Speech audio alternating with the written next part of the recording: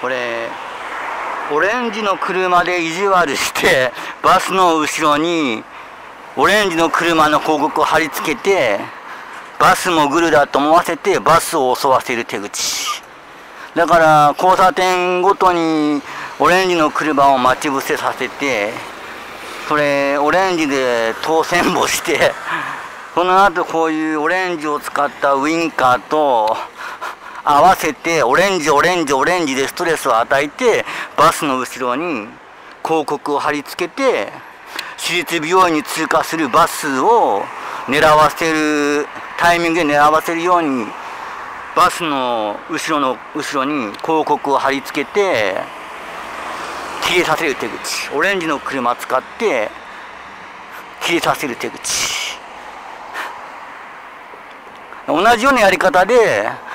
他の人にもバスを襲わせて